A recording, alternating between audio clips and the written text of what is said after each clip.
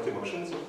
Я сотрудник Института водных проблем Российской Академии Наук и руковожу академическим сообществом ЭКОС.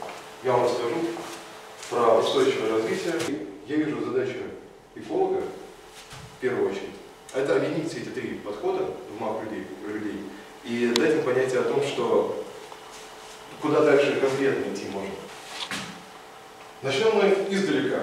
То, что мысль о том, что природа есть э, предел, имеет корни в глубокой древности. В 400 году до нашей эры Платон, описывая идеальную модель государства, э, в своем труде «Государство», собственно, э, указывал на необходимость нулевого прироста населения и нулевого прироста использования э, природных богатств. То есть он говорил, что мы, конечно, какой-то что-то используем, например, лес, но мы не должны превышать темпы его самовосстановления. И он описывает город э, Аттику э, примерно так. То, что равнин которого однажды покрывал толстый слой плодородной почвы, э, а на горе было много деревьев. Но жители порубили все деревья и истощили землю. По сравнению с первоначальной территорией, то, что осталось сейчас, подобно высохшему скелету, который превратилось в тело в результате исторической болезни. То есть мы понимаем, что Платон в то, в то время э, говорил очень такие интересные мысли о том, что люди это все виноваты в том, что произошла экологическая катастрофа. Правда, потом все на довольно длительный промежуток времени прервалось, вся экологическая мысль, потому что главенство взяла церковь. А, единственными экологами того времени, по сути, были художники, которые за свою жизнь рисовали несколько, ну, много картин и могли нарисовать одну и ту же местность несколько раз. Либо эту местность рисовали художники разные, но в итоге можно такая ретроспективу провести, то есть что там было изначально, что было потом. А, все это изменилось а, лишь в 1866 году. То есть, понимаете, прошло 2000 лет.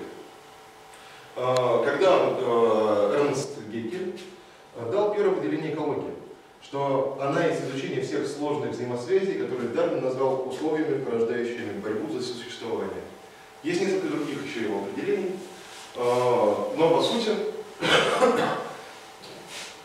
Геккель описал то, чем сейчас является биоэкология. Мы все понимаем, то есть э, я когда-то давно закончил экологический факультет РУД, э, и мы понимаем, что есть экология разная. Под этим словом сейчас понимается очень много всего. Инженерная, биологическая, даже медицинская экология есть.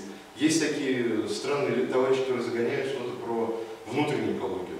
Но это товарищи не нужно слушать, потому что всегда нужно стараться подключать рациональный аппарат и отличать лженауку э, от, собственно, настоящей науки, хорошей.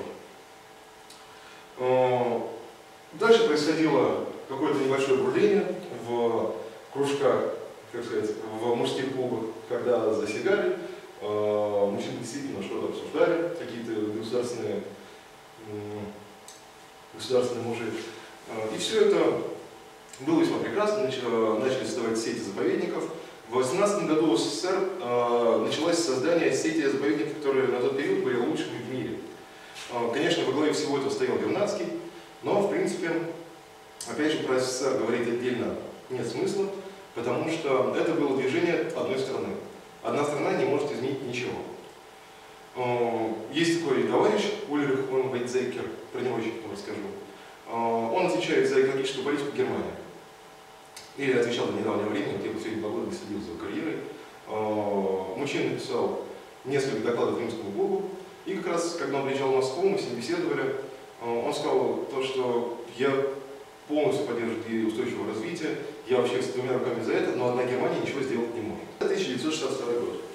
1962 а, год – это момент, такой поворотный на самом деле, когда Генеральная Ассамблея ООН принимает резолюцию «Экономическое развитие и охрана природы». А, в этой резолюции впервые описывается проблема охраны окружающей среды. То есть 1962 год. Понимаете, это совсем, совсем недавно. А, в 1966 году создается специальное подразделение, МУСОН называется, отвечающее за, вопрос, за вопросы охраны природы, издается первая красная книга. А в 1968 году происходит совсем уже историческое событие. Потому что силами э, Аурелио Пичей и его товарища мецената Александра Кинга создается римский. Римский клуб – это сосредоточение мыслей, сосредоточение всего устойчивого развития. Вот откуда все это пошло. А, мощное движение, которое мы сейчас наблюдаем. Э, товарищи что придумали? На самом деле говорят, что э, Аурелио Пичери это мало того, что он итальянец, так он еще и мафиози. И в какой-то момент какой-то из синдикатов э, возглавляемый Пичери понял то, что, ну, конечно, заниматься прачечным, я не знаю, чем-то еще, конечно, здорово, но нужно тратить деньги на э, мысли о глобальном. Э, и поэтому что они придумали? Они создали центр э, финансовой, культурной, политической и, что самое главное, научной элиты. Э, из, э, в этот клуб принимаются только очень богатые люди. И одной из главных его задач состоит в привлечении внимания мировой общественности к глобальным проблемам современности. Как это происходит? Они выделяют огромные гранты. Причем эти гранты даются ученым по тендерам, и учен, на ученого не может быть оказано никакое, никакое воздействие. А, и какой бы результат ни был, они уже получают деньги, эти деньги, то есть они не привязаны никак на них повлиять, ну, невозможно.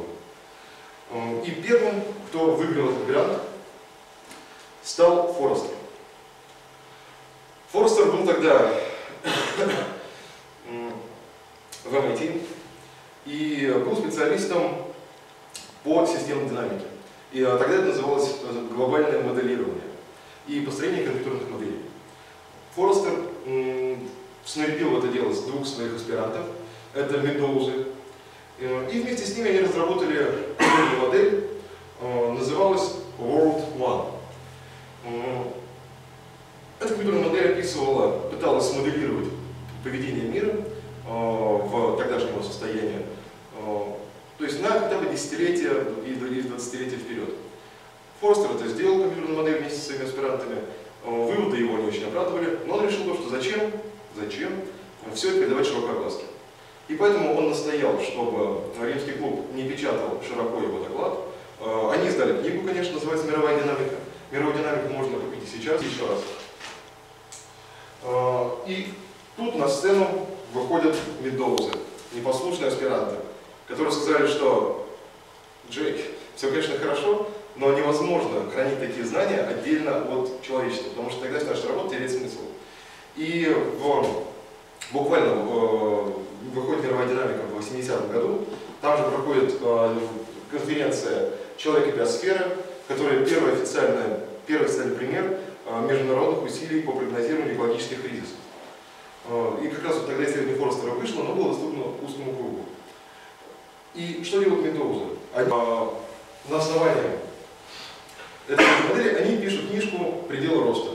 Предел роста, вот так выглядело оригинальное издание, это просто нечто. Потому что на тот момент произвело это, как сказать, эффект разорвавшейся бомбы.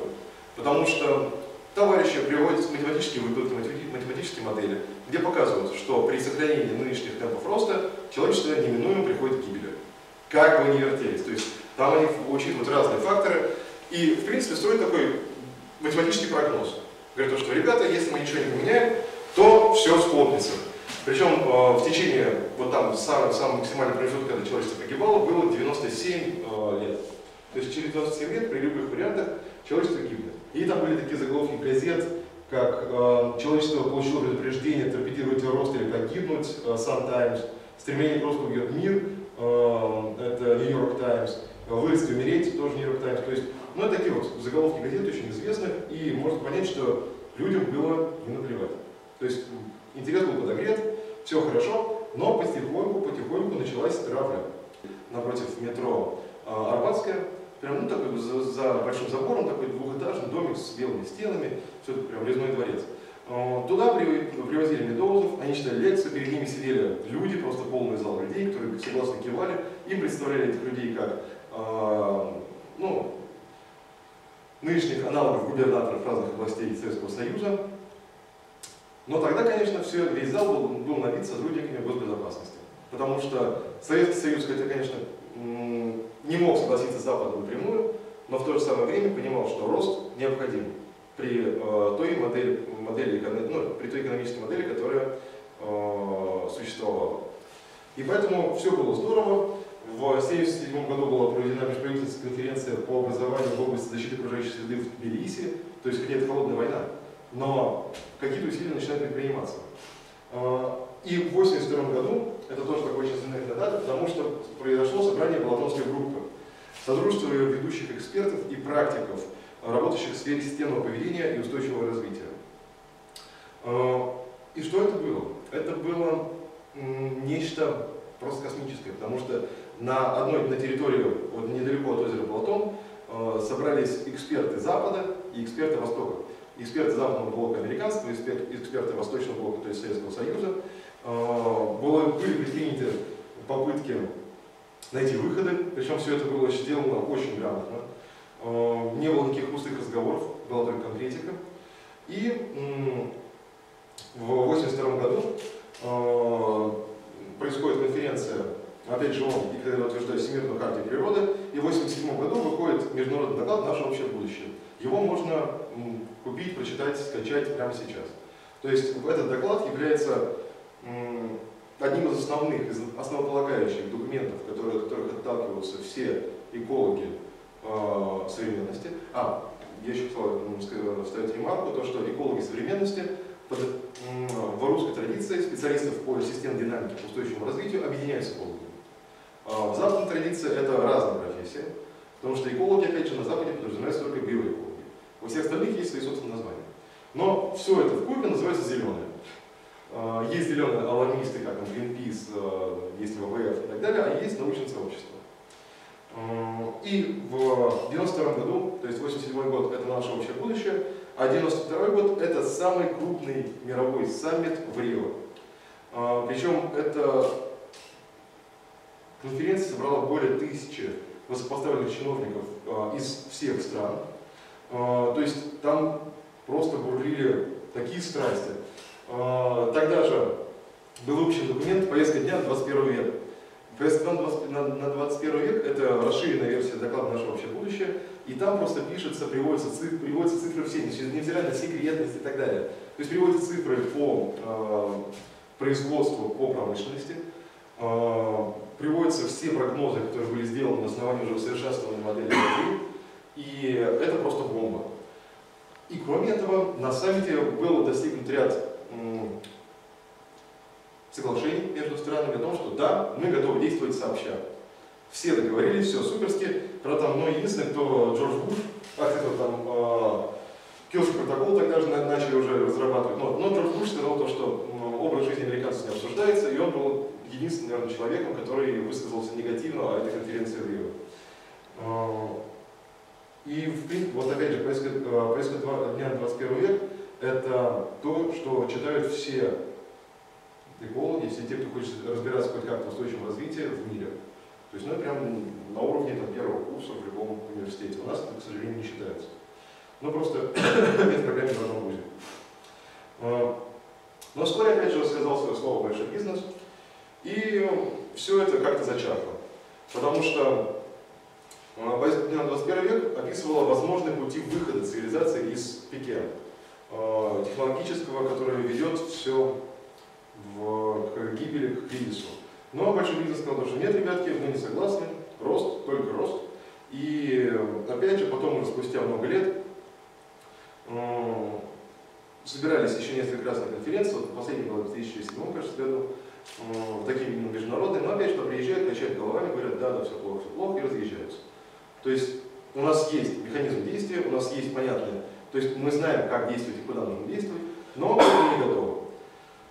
А, именно не готово мировое сообщество, что ли, если можно так сказать. Конечно, есть э, технологическое решение э, некоторых проблем. А, технологии позволяют нам сделать что-то лучше, то есть снизить количество выбросов, еще что-то. Но из-за того, что нарастет население, из-за того, что наши отцы и матери э, родились на Земле, на которой было в два раза меньше людей, чем сейчас живет, из-за всего этого технологические прорывы не успевают нивелировать негативное влияние от растущей численности населения. И, э, и опять же, выходит, э, и опять же, Медоузы, Медоуз, кстати, Денис сейчас жив еще, Данелло умерла в 2002 году. Денис жив, есть по миру, мужику 87 лет, и он выпустил книжку сначала «Пределы роста» 10 лет спустя, а, за пределами роста, потом пределы роста 20 лет спустя, потом пределы роста 30 лет спустя. И это уже книга про то, что мы вышли за пределы, и нам уже ничего не поможет. Он говорит то, что даже если сейчас начнут все собирать пакеты, я не знаю, но это вот насчет пакетов это скорее просто такой шаг, как популистский, потому что люди просто понимали, что вот да, более осознанно относились вообще к своему поведению. Потому что пакеты не решат ситуацию вообще никак. Решат, решит ситуацию только большая промышленность. Только большая, большая промышленность, в которой идет э, процентов 95 всего, всего загрязнения окружающей среды. И э, именно большая промышленность, именно неразумное сельское хозяйство ответственны за деградацию почв, которые просто дикими темпами, которые дикими темпами происходят. И если э, спрашивают, какая самая большая проблема э, окружающей среды, почти все отвечают, ну как же, загрязнение. Нет. Загрязнение это не самая большая Самая большая проблема это деградация почв. Потому что э, темпы деградации, темпы э, просто чудовищные. Можно говорить о 10% э, э, эрозии в, там, ну, где-то в 15 лет. И есть такой товарищ э, Алан Ставарев, если вы хотите, можете найти его на ютубе, он как раз занимается этой проблемой и читает лекции на TED, и очень крутой мужик, и чтобы разобраться в этом вопросе, нужно посмотреть его. Потому что, опять же, сейчас я вам даю краткое такое ревью, обзор всей этой темы, и невозможно рассказать про устойчивое развитие, президент динамику за одну лекцию, вообще никак. Я пытался рассказать про это за семестр, когда преподавал студентам, получилось хоть более-менее. Но, но, опять же, э, когда мы читаем какие-то научно-популярные лекции, мы говорим простым языком, стараемся, и это всегда лишь начало пути. Именно поэтому я привожу здесь книжки, в пределах роста 30 лет спустя можно пойти купить в магазине или, опять же, ну, лучше купить в магазине, потому что выпускают хорошие книжки очень мало, лучше их поддерживать рублем. Но, э, ну, либо там на Озоне электронную версию, скачивать не советую. Вот. А, и это действительно, вот вы меня послушаете сейчас, и можете, если вас заинтересует тема, можете купить книжку и прочитать ее. И это очень будет здорово. Следующий. А,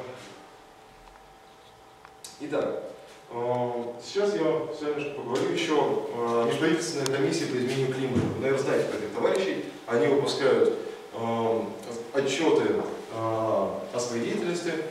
В 2009 году был выпущен вот предыдущий, а сейчас в 2014-2015 выпускается последний, кажется, пятый вот этот отчет Межправительственной комиссии по изменению климата, где все говорят, что да, климат меняется из-за человека. На этот э, счет есть много мнений. Опять же, есть мнение о том, что все изменения происходят по совершенно природным причинам. Есть мне даже есть концепция, называется земля-снежок. Очень забавно, потому что считается, что мы сейчас живем в межледниковый период.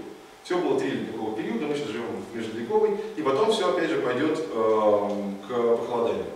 И поэтому есть товарищи, ученые с хорошими именами, которые говорят, что нет, ребят, нужно вообще больше парниковых газов, чтобы греть атмосферу, чтобы когда начнется э, похолодание, мы как-то с этим справлялись. То есть, на самом деле, когда вам говорят, что вот глобальное потепление, это все фигня. Потому что нет понятия, вот в нормальной науке нет понятия глобального потепления. Есть понятие глобальное изменение климата. И это очень важно. Потому что когда происходит изменение климата, где становится жарче, где становится холоднее. Э, у нас орбита нашей Земли, она э, колеблется. Вот эти колебания также сказываются на нашем климате, сказываются на э, температуре поверхности Земли. И, в общем, это очень сложная тема, чтобы разобраться, нужно много читать. да и то это не факт, что разберетесь, потому что ученые сами путаются и просто придерживаются одних или других эм, мнений. А есть такой товарищ Данилов Данильян, это бывший министр природных ресурсов э, Российской Федерации, он с 93 -го года был министром, до 2001 -го. И именно благодаря ему в года перестройки была, была сохранена система заповедников как, как таковых. То есть, понятное дело, там финансирование почти не выделялось, но старался сделать хоть что-то, сделал очень много на самом деле. И он занимается устойчивым развитием, хотя он по образованию экономист. И здесь нужно опять же понимать, что нет никакого разрыва между экологией и экономикой. Только в синтезе науки, только в синтезе этих наук. Сюда же, кстати, еще вписываются, вписываются социальные науки. Только так может получить что получиться что-то стоящее. И когда экологи говорят, то, что нет, вот деньги это все фигня, главное сохранить деревья. Неправильно. Это не работает так. Потому что если не найти компромиссов с большим бизнесом, то он не станет работать. Он не станет работать на устойчивое развитие. А если большой бизнес не станет работать на устойчивое развитие, то все наши потоки, в принципе, канут в туры. Просто потому что это канут в лето, э, это все бессмысленно будет. Вот, ну, в общем, идем дальше. Э, но есть положительные моменты. Э, есть замечательный товарищ Алан Атлис, он ездит по всему миру, опять же, с лекциями. Э, сейчас он тут в каком, в каком институте. Но опять же, он работал в MIT какое-то время.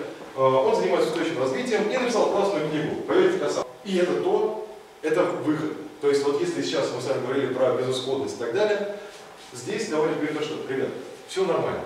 Потому что как только у нас начнет все э, катиться в тартарары, начнутся судорожные движения, сначала у них будут какие-то несистематизированные, но у нас уже выработаны все концепции, мы готовы.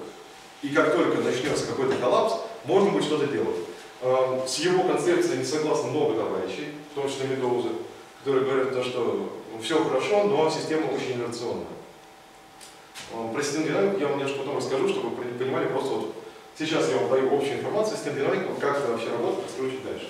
Но, в общем, но суть в том, что Алан Аткинсон это тот эколог, тот специалист по устойчивому развитию, который приносит хоть какой-то позитив во всю эту мощноту.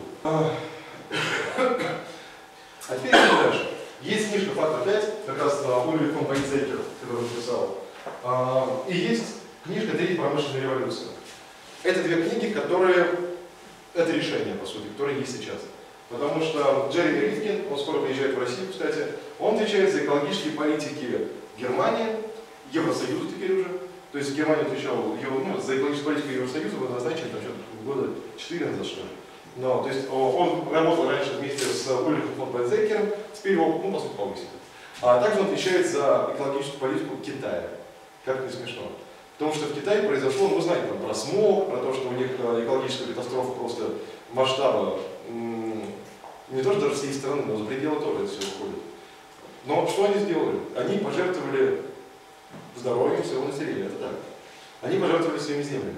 Но сейчас они говорят, что, ребят, у нас экономика поднялась. То есть, если это, это первая экономика в мире, сейчас по показателям, э, говорят, мы можем теперь позволить себе работать над устойчивым развитием.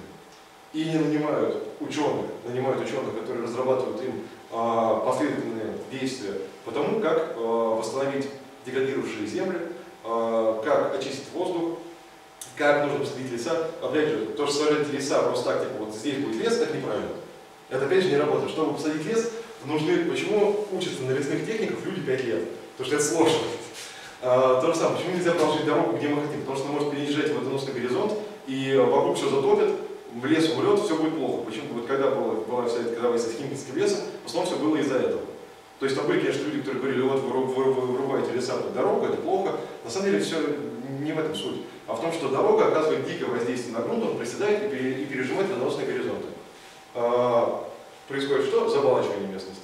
Сейчас они там, слава богу, вот эта французская компания, которая все это делала, они прислушались хоть как-то, проложили трубы и попытались урегулировать, урегулировать этот водоток. Поэтому, когда сейчас мы ездим, мы видим, что справа-слева вроде болотища нет. Но опять же, когда это, это может бомбануть, может не бомбануть. То есть будут работать эти трубы, не будут работать эти трубы, это непонятно. Потому что дело сдвигать успешно. Но, а, но сейчас я вам скажу отдельно про третью промышленную революцию. Потому что фактор 5 это опять же пятикратный рост эффективности, технологии, технологической революции, дилемма, а, ну, в общем, это, как сказать, такое больше, более серьезная книжка на самом деле, чем Третья промышленная революция. Третья промышленная революция написана для товарищи, которые вообще очень мало понимают, что такое экология, просто понимают, что творится какая-то фигня. И что-то нужно делать. И что? А, как раз Рифкин говорит, что ребята, спокойно, технологии все позволяют. А, и он пропагандирует идею, во-первых, распространения массового 3D-принтинга. Причем распространение а, вводится не только на территории Евросоюза, но и Китая. В чем преимущество 3D-принтинга? Потому что если вам нужна конкретная деталь, вы распечатываете только ее, нет никакого избыточного э, производства. То есть если сейчас на заводах производится для непонятного, для потенциального, для потенциального покупателя какое-то количество товара, и какое-то количество товара, там процентов на самом деле 65-70, если не больше, выбрасывается на свалку. Потому что просто приходит в негодность, когда их никто не купил. А, Рифкин говорит, 3D принтинг, почти что в каждом, сначала там, в каждый двор, потом в каждый дом, и все будет хорошо. Потому что, опять же, при 3D принтинге тратится всего 10% ресурсов, от того, что нужно при производстве такой же аналогичной детали в заводских условиях. И это просто чума. Потому что, опять же, мы понимаем, что нельзя остановить развитие природы. Нельзя просто говорить то, что вот э, экологи это товарищи, которые против прогресса. Экологи это прогресс до мозга костей. Они просто понимают, что прогресс должен быть, он должен идти. Мы должны идти там, стремиться к звездам и так далее. Но все это должно э, происходить очень осмысленно. Нельзя, нельзя подрывать свою собственную систему. И, конечно, это как игра в, не знаю, там, в джангле, что ли, э, когда ты из-под себя вытаскиваешь эти палочки, чтобы ставить их наверх. Вот ты говоришь, что так невозможно, потому что башня рухнет в какой момент. И только если мы все это делаем обдуманно, если мы продуктивно производим эти палочки, потом их типа накладываем сверху, тогда башня еще может держаться. В принципе, вообще это должна быть пирамида. Вот. И вторая идея э, Ривкина – это разбитие как э, сеть по типу э, сети интернета, это энергетическая, энергетическая сеть. Он пропагандирует идею, немножко смахивающую на э, анархизм, наверное, когда есть отдельные дома, и каждый дом – это э, электростанция. Потому что сейчас у нас есть уже довольно-таки мощные э, технологические ресурсы для производства энергии из возобновимых источников энергии.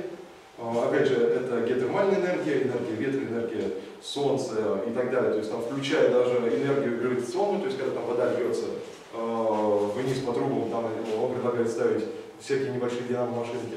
Ну, вот, и все это выходит к тому, что сначала есть идея нулевого дома, концепция нулевого дома, вы, наверное, знаете, да? То есть это дом, который не потребляет энергии вообще, потому что он полностью сам окупается а, за счет энергии, получаемой из возобновимых источников. А, он говорит, что можно шагнуть дальше, и э, грамотное расселение, грамотное, э, грамотное как сказать, конструирование домов позволит домам э, выходить в плюс по производству энергии. И опять же, люди будут обмениваться энергией, ну, вместо денег. Потому что вот у меня есть дом, производит столько энергии, это клево, я могу вот дать тебе вот это количество энергии переправить, э, ты за это там что-то еще, ну, какие-нибудь вещи. И опять же, вот как раз автономные дома, которые производят энергию, и 3D-принтинг, он на эти вещи две опирается и просто упирает очень сильно. И это здорово.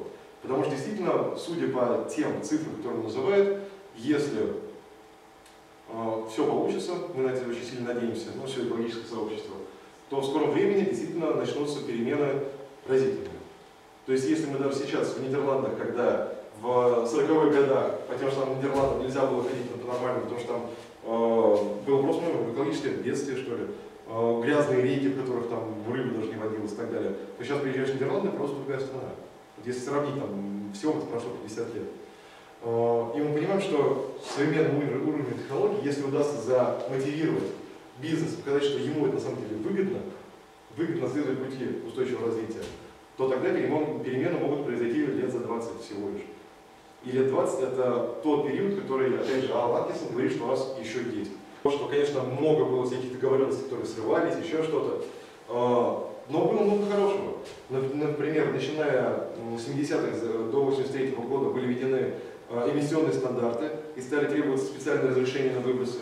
А, до 89 -го года было подписано большое количество международных соглашений и начало активности общественных организаций. Потому что общественная организация это тоже очень важно. Если есть ученые, которые говорят, что Greenpeace вообще не нужен, эти ученые не то что в корне не правы, они просто не правы. Потому что у того же самого Greenpeace есть очень много огрехов, очень много, как у ВВФ, как у любой общественной организации. Потому что э, общественная организация это такой микс между социальной сферой и сферой науки и экономики. Поэтому социально это пересиливает. Э, но все равно вся их деятельность, э, она вот с всеми плюсами, минусами и так далее, все-таки она положительная. То есть плюсов больше. Э, дальше. До 2000 года были решены задачи повышения уровня, уровня энергоэффективности путем сокращения выбросов полютантов, энергосбережения, вторичного использования. Это революция в сфере технологий, кстати. И вот по наши дни это внедрение энергоэффективных технологий медленно, наверное, становится экономически выгодным. Вводится добровольная экс-сертификация и система субсидирования для предприятий, обладающих ею. Вот насчет этого, кстати, я тоже хочу немножко сказать, перед тем, как перейти к второй части своего выступления. Технологии сейчас – это очень здорово. Очень здорово, и когда они общаются с обществом напрямую. По, по сути, методами, там, экологического, методами экомаркировки люди понимают, что вот можно, предпоч... можно отдать предпочтение вот этому или этому, но главное здесь, опять же, без фанатизма. Потому что одна из самых больших проблем 60-х годов, вот 60-х по, нас, по наши дни, это э, полютанты, которые разбрызгиваются на сельскохозяйственных угодьях. То есть э, это всевозможные пестициды, гербициды и так далее, это яд. Это реально дикий яд. И когда он попадает в организм, это очень плохо. То есть там и больные дети, слепые и так далее. То есть э, всевозможные, всевозможные уродства генетические в том числе, потому что э, очень большое число этих э, веществ обладает мутагенным эффектом. А, сейчас технология предлагает выход. А, это, предло- это предложение а, ГМО. Генно-модифицированные организмы штука очень классная. Вот я говорю как эколог, то, что генно-модифицированный организм это здорово. Потому что когда мы точно, точно знаем, что мы хотим сделать, когда у нас есть механизм внедрения абсолютно нужного нам гена вот именно в тот самый, в тот самый кусочек кода, а, куда мы хотим, это гораздо лучше, чем когда у нас селекция. Селекция это когда вот тебя гены просто мешаются вот так вот непонятно как, природа, и ты думаешь, вот это вроде ничего, вот это вроде ничего, там выглядит яблоко неплохо, но на самом деле, когда люди говорят, что вот помидоры в детстве были там, лучше, вкуснее и так далее, они правы. Потому что сейчас нет селекции выведены помидоры, которые гораздо, гораздо лучше хранятся, но полезных веществ в них меньше. Это селекция.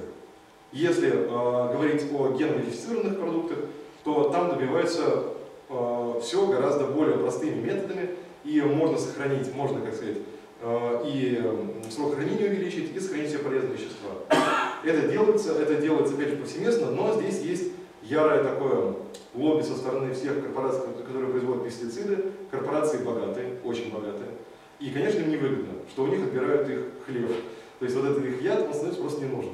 Потому что если у нас есть, э, мы можем изменить код буквально там на две буквы, ну, в общем, немножко изменить код, э, и у нас будет расти, например, э, вот это растение, оно будет устойчиво к какому-то виду грибка. И не нужно будет ничего опрыскивать этой химией, чтобы убить этот грибок. Вообще не нужно. А ребятам это не выгодно. Именно поэтому э, есть всевозможные там популистские заявления, но здесь нужно понимать, что э, совсем недавно был приведен анализ более 10 тысяч, 10 тысяч научных статей в хороших рецензированных, журналах, и не было выявлено ни одной статьи, одна была, пардонте, одна, где говорилось бы хоть о каком-то вреде геномодифицированных организмов. И это одна, это работа Сировини, есть еще у нас такая барышня Ермакова в России, его последовательница. А, опыты Сировини были поставлены дико, дико антинаучно, на самом деле. Там, где мышки переставали размножаться. А, там, где мышки, это у нас уже, вот это наша барышня русская, она, в общем, это полная лажа. Ну, полнейшая. То, что это Сиролини, который говорил, что вот у меня мыши раздуваются от опухолей. Ну, во-первых, он взял там линию мышей, которые вообще склонны к опухолям и выведены были специально, чтобы изучать рак. Ну и так далее. То есть там много всего. Когда барышня говорил, что у нее мыши перестают, перестают размножаться, вы понимаете, она их сажала на одну сою. У нее не было нормального контроля, и если вот вы едите одну сою, вам, конечно, не охота вообще ничего. Ну, то есть там не было никакого разнообразия микро макроэлементов, вообще ничего. Но, и все это можно послушать замечательного Александра Панчина, есть у нас такой товарищ, тоже популяризатор науки, а, есть большое количество выступлений там на ютубе залито, и он про это рассказывает, он генетик, рассказывает про это, как сказать, авторитетнее меня, потому что ну, просто у него больше генетической информации, информации генетики в голове. Вот. А, он просто ну, больше знаний по этой теме, тематике. Но, но, в принципе, вот раз, когда мы говорим про научное сообщество, мы не фанатики, которые призывают всех уходить в леса. Экологи вообще не про это. Экологи про развитие и про то, что технологии должны служить людям. Вот. Теперь немножко с вами проговорим по фенодинамику.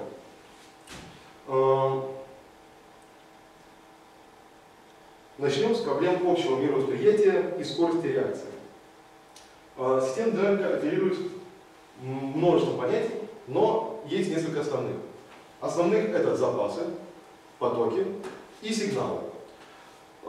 Запасы, например, это население, потоки это рождаемость и смертность, и сигнал обратной связи это то, как окружающая среда или система реагирует на увеличение запаса в ту или другую сторону. Это очень, конечно, я объясняю на пальцах, там немножко сложнее, но, но в принципе это так. И что мы видим? То, что открыть дешевого и на первый взгляд неисчерпаемого источника энергии, такого как ископаемое топливо, вызвало массовое безумие. И начался неудержимый рост. То есть там происходит дико, вот на самом деле, начался неудержимый рост населения Земли, и мы видим огромное количество всевозможных сигналов, то есть начиная от исчезновения видов, заканчивая загрязнением и деградацией почв. И мы видим этот сигнал, он не связан это с ростом, с ростом численности населения. И вот пока мы не связываем с ростом численности населения, у нас остается ощущение, вот представьте себе космический корабль. Вы заходите в рубку и видите, что все моргает разными красными лампочками. По идее, вы должны задуматься, что что-то здесь не так. Что-то нужно как-то дог- докапываться, почему вот эти раз лампочки моргают. Но у вас нет инструкции. У вас нет инструкции, чтобы понять, вот, что, за, за что отвечает каждая конкретная лампочка. И тогда вы идете там прозванивать всю цепь, понимать, откуда идет сигнал конкретной лампочки. И вот эти товарищи, которые прозванивают цепи, это, и это и есть ученые. Они взламывают, ну, ну, не взламывают, взламывают плохое слово, они вклиниваются в природную структуру, а, своим интеллектом, своим мозгом пытаются понять, вот, о чем же нам говорит тот или иной, тот или иной сигнал. А, И опять же, а, есть пример, очень такой, тресковый кризис в Канаде называется. Это 92 год. И в что происходит? Приходят ученые, это были, конечно, морские биологи, и говорят, что, товарищи, у нас треска заканчивается. В чем прикол? В 92 году произошло массовое пере- ну, переоснащение кораблей и рыболовных компаний на более а, совершенные а, там, э, всякие, всякие там сети и так далее, то есть на рыболовную снасть, которая а, увеличила, при- увеличила КПД, то есть они ловили гораздо больше рыбы за один рейс. Тогда же было- были корабли переоснащ- переоснащены новыми холодильными камерами, которые были больше и могли хранить дольше рыбу. И общем начали вылавливать просто как черт. А, Ловили, ловили, и тут ученые приходят и говорят, ребята, у нас рыба на самом деле кончается. Вот вы как-то это приостанавливаете ситуацию. И на это отвечают, ну что, как-то рыба заканчивается. Все хорошо, вот мы как ловили много, так и ловим много. Действительно так, потому что треска, когда она, а, вот если у нас есть большое количество трески, у нее убирается часть популяции, но в итоге она начинает пучковаться. И понятное дело, когда вот в эту кучку попадает корабль, он туда ходит, у него все так же дофигища рыба. А, Что мы тут видим? Тут мы видим искажение обратного сигнала. Потому что есть ученые, которые говорят, что вот есть биологические посты, которые сигнализируют, сигнализируют о том, что популяция упала, но на сигнал никто не обращает внимания. В итоге а, популяция вот этой а, трески канадской упала до 1% относительно ее численности в 70-х годах.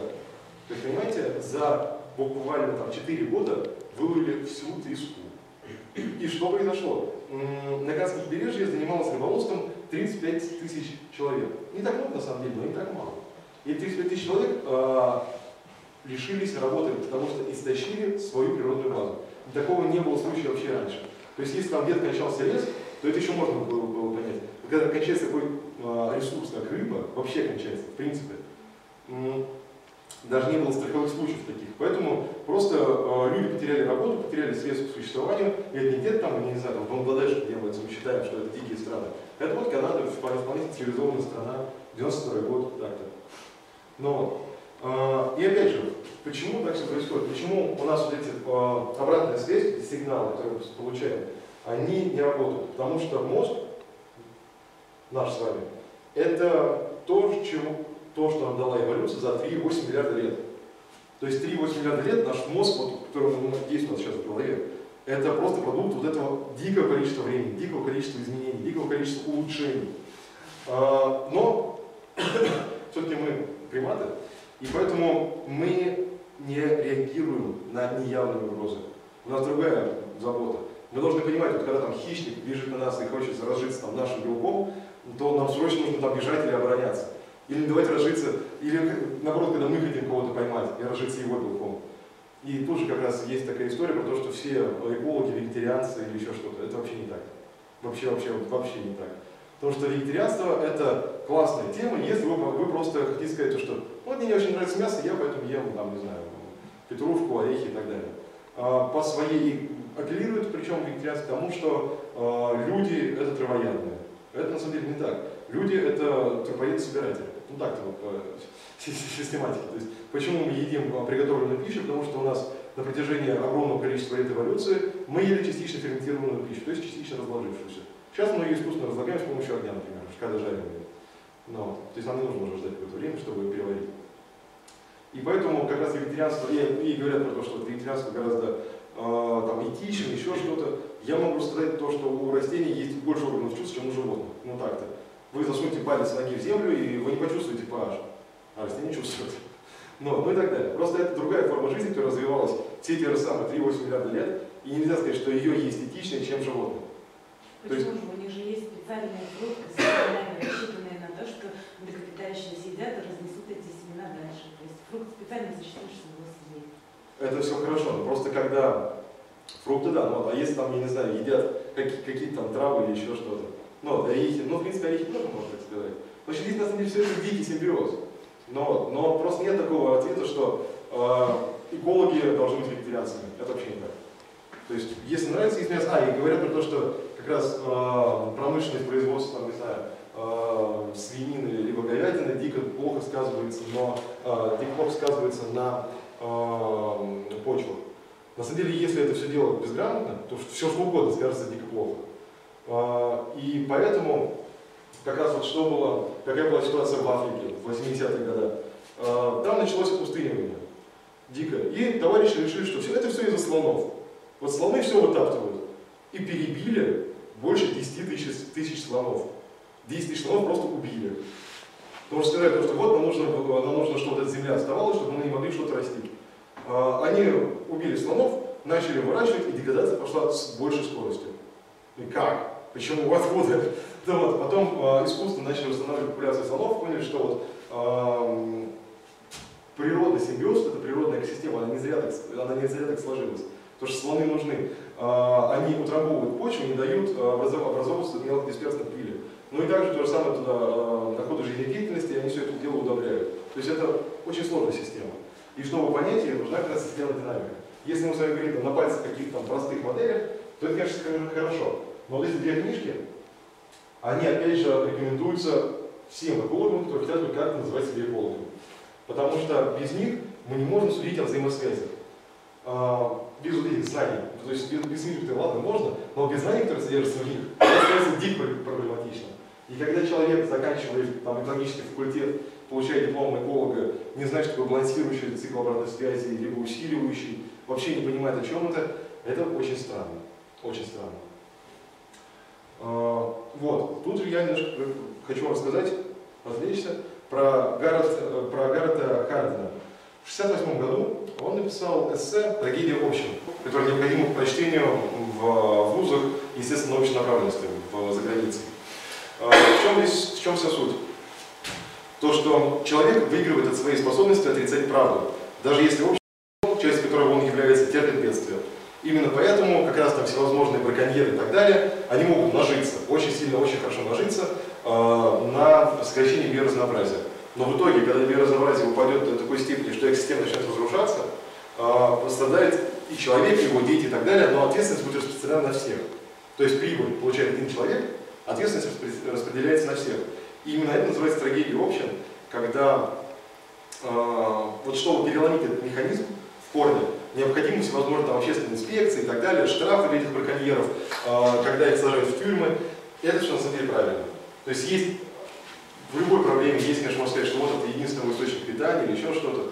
Но, но, в принципе, вот без общественного контроля трагедия общин просто захватывает все вокруг. И получается, есть э, как там, право имеющие, есть твари дрожайшие, и вот получается все вместе, такой, как сказать, отклик от экосистемы наживается вот на том, что что-то там сделал плохое один, не там какое-то количество всего небольшое людей.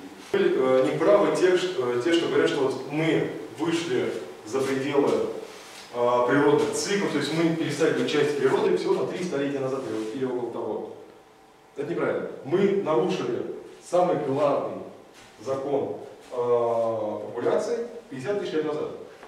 50 тысяч лет назад мы, на- мы нарушили закон ареала обитания вида, когда мы вышли из этой Африки и пошли дальше. Это не свойственно вообще никаким животным. То есть у каждого животных есть свои ареалы обитания, есть э, привычные условия обитания, М, может это называется м, кривая адаптация. Ну, вот, то есть им привычно вот в таких-то условиях, им комфортно, если эти условия там как-то меняются в ту или иную сторону, они начинают там сначала популяция сокращается, сокращается, то она может вообще исчезнуть. А люди благодаря своему мозгу, бл- благодаря а, развитию технологий смогли перебороть этот закон, и все пошло на разбалансировку глобальной экосистемы. Вот. А, И опять же, если говорить о главном препятствии для обмена сигналами обратной связи, связи с природой, в наши дни это отсутствие информации. Да? Нет, деньги. Потому что все упирается в деньги. И отрицать это невозможно. И нужно понимать, что деньги, э, в отличие от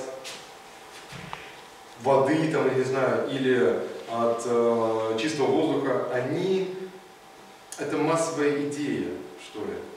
Да, и поэтому только это продукт, синтетический продукт человеческого общества. И когда там деньги перестали быть закреплены за золотым запасом, то есть нельзя сказать, что они даже присоединены там, золоту или как-то к аналогу. Вообще нет. Это, это реально синтетическая штука. И э, если мировое сообщество поймет, что, ребятки, у нас деньги это, конечно, хорошо, но нужно пить чистую воду, из чистой воды, мы все погибнем, и дети будут, ну не мутантами, а просто больными. Но э, как только мировое сообщество это поймет, как только произойдет вот такая перестройка массовая а, причем здесь такой замкнутый круг очень понятный, а, что почему политики не хотят вкладываться и развивать сильные идеи устойчивого развития. Потому что это невыгодно, люди не знают об этом. И здесь на, как сказать, на арену выступают популяризаторы науки, у которых миссия это рассказывать людям, рассказывать избирателям э, вот этих самых политиков в том, что вот есть эти проблемы. И только так, мне кажется, вот только образованием можно решить этот вопрос. Вот. Э, и что еще хотел сказать из глобальных проблем? Ну так, если... А, да, еще могу сказать про... Недавно совсем читал статью очень забавную. А, Майц – это ученый, который в свое время выдвигал очень, как сказать, такую мысль, просто она дико прогрессорская, но вообще не для своего времени. Он говорил, вот, когда начинали всякие эти всевозможные миссии, э, ну тогда там Красного Креста зарождающегося и так далее, благотворительность, когда давали еду в развивающиеся страны, а, давали, а, давали медицину, он говорил, ребят, не надо этого делать, вообще не надо. Единственное, что вы можете дать людям, это образование. Тогда его не послушали, тогда сказали, что он хочет, чтобы умирали, умирали бедные э, дети в Нигерии, а, обозвали его всякими плохими словами. На самом деле, действительно так. Потому что что мы сейчас видим? А, общество как развивается? Сначала а, высокая рождаемость, высокая смертность, потом высокая рождаемость, низкая смертность, а потом низкая рождаемость, низкая смертность. Это нормальный цикл на самом деле. То есть это развитие общества. Но вот когда у нас есть вот этот самый пик, когда мы выходим, когда высокая рождаемость, низкая смертность, этот пик нужно как-то перетерпеть. Когда был этот пик в Европе, все свалили в Америку. Очень хорошо совпало. Было место, куда валить. Сейчас этого места нет. У нас на Земле 7 миллиардов людей, увеличивается число каждый день, и валить уже больше некуда. У нас технологии еще не позволяют свалить куда-нибудь на Марс. Еще нет. Конечно, есть люди, которые говорят, что можно, не знаю, в Сибири еще что-то, но в Сибири там, там ничего не растет, в смысле из плодородных, потому что там везде вечная мерзлота. Или если там сейчас э, продолжится потепление климата в данном регионе, э, то там все растает, там не будет ни коммуникации, будут сплошные болота, что вы на болотах. Вы не прокормите этих людей. Именно поэтому он говорил то, что максимум, больше можете дать, это образование. И он же первый сказал о том, что самое главное – это образование и карьера для женщин. Это одна из таких его идей, за что его, кстати, любят феминистки, но э, здесь с ними абсолютно солидарен. Потому что если женщина понимает, что у нее есть другой выход, как рожать там, 20 детей, что у нее есть возможность какой-то самореализации, развития и так далее, это очень здорово. Потому что, потому что упадет численность населения, рождаемость снизится. И снижение рождаемости – это сейчас одна из таких самых мейнстримных тем в экологии и устойчивого развития. Потому что на рождаемость завязано все. На количество людей завязано количество отходов, которые производятся, завязано количество э, деградируемых почв, потому что все больше и больше необходимо э, пищи, чтобы, чтобы прокормить этих товарищей. Ну и так далее. То есть все упирается в численность населения. И если вы прочитаете книжки по системному, по мышлению, по системной динамике, а, вы узнаете, что такое графы, что, как, как описываются системы, как описываются взаимосвязи в системах, как их можно считать, как можно прогнозировать. И все бы это здорово. Они есть, эти графы по самым разным темам. Но все в итоге упирается в численность населения. На Земле нас слишком много.